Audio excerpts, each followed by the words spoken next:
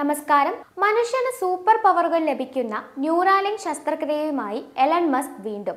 ശതകോടീശ്വര വ്യവസായി Elon Musk തുടക്കമിട്ട brain technology സ്റ്റാർട്ടപ്പാണ് ന്യൂറാലിക് ഇവർ വികസിപ്പിച്ച ടെലപ്പതി എന്ന ഉപകരണം തലച്ചോറിൽ ഘടിപ്പിച്ച് രോഗികൾക്ക് അവരുടെ ചിന്തകളിലൂടെ കമ്പ്യൂട്ടർ നിയന്ത്രിക്കാനാവും.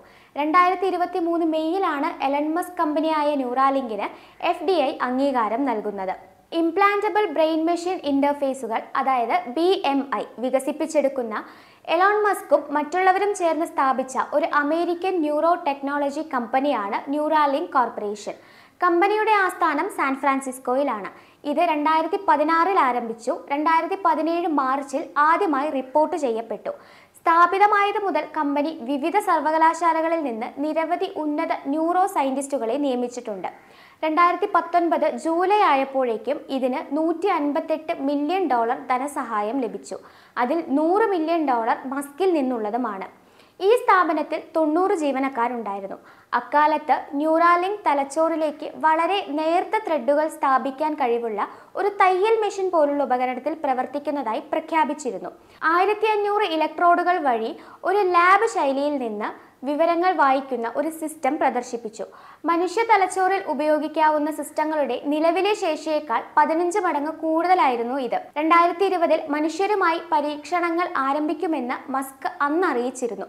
ഗുരുതരമായ മസ്തിഷ്ക രോഗങ്ങളെ ഹ്രസ്വകാലത്തേക്ക് ചികിത്സിക്കാൻ വേണ്ടി ഉപകരണങ്ങൾ നിർമ്മിക്കാൻ കമ്പനി ലക്ഷ്യമിടുന്നുവെന്ന് രണ്ടായിരത്തി പതിനേഴ് ഏപ്രിലിൽ വെയിറ്റ് ബട്ട് വൈ എന്ന ബ്ലോഗ് റിപ്പോർട്ട് ചെയ്തിരുന്നു.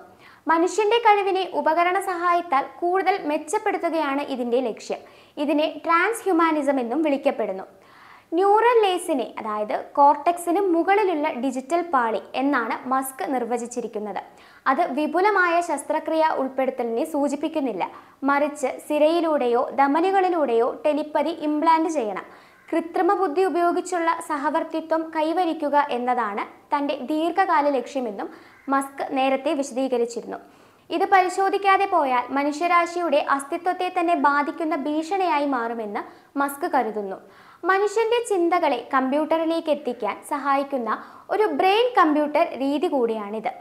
ശരീരം തളർന്നവർ ഗുരുതരമായ ശാരീരിക പ്രശ്നങ്ങളുള്ളവർ കൈകാലുകൾ തളർന്നു കിടക്കുന്നവർ കാഴ്ച കാഴ്ചശക്തിയില്ലാത്തവർ തുടങ്ങിയവർക്ക് ന്യൂറാലിങ്കിന്റെ ഈ കണ്ടുപിടുത്തം ഉപകാരപ്രദമാണ്.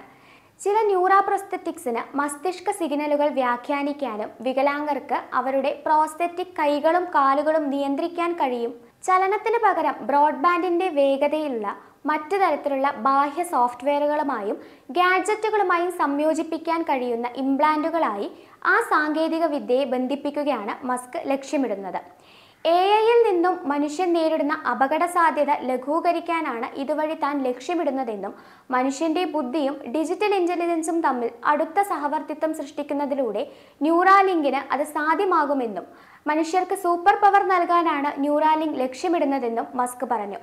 ഈ വർഷം ജനുവരിയിലാണ് അരിസോണ സ്വദേശിയായ നോളൻ ആർബർഗ് എന്ന രോഗിയിൽ ന്യൂറാലിങ്കിന്റെ ബ്രെയിൻ ചിപ്പ് ആദ്യമായി സ്ഥാപിച്ചത്.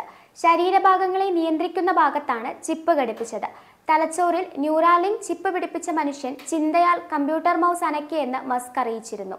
ഇയാൾ പൂർണമായും സുഖപ്പെട്ടുവെന്നും വെറും ചിന്തയാൽ കമ്പ്യൂട്ടർ സ്ക്രീനിന് ചുറ്റും മൗസ് ചലിപ്പിച്ചെന്നും മസ്ക് എക്സിൽ പറഞ്ഞു. മാസങ്ങൾക്ക് ശേഷം ചില സാങ്കേതിക പ്രശ്നങ്ങൾ നേരിട്ടെങ്കിലും ആദ്യ പരീക്ഷണം വിജയമായിരുന്നു. മസ്തിഷ്ക ചർമ്മത്തിൽ ഘടിപ്പിച്ച ഇലക്ട്രോഡുകൾ എന്ന് വിളിക്കുന്ന നേർത്ത നാരുകൾ വേർപെട്ടതാണ് ഉപകരണത്തിന്റെ പ്രവർത്തനത്തിന് വെല്ലുവിളിയായത്. ആദ്യ ശസ്ത്രക്രിയയിലുണ്ടായ പ്രശ്നങ്ങൾ ഒഴിവാക്കിക്കൊണ്ടായിരിക്കും ഭാവിയിലെ ശസ്ത്രക്രിയകൾ എന്ന് ന്യൂറാലിംഗ് പറയുന്നു. ഇതിലൂടെ സൂപ്പർ ഹ്യൂമൻസിനെ ഉണ്ടാക്കുകയാണ് തന്റെ ലക്ഷ്യമെന്നും മസ്ക് അറിയിച്ചു.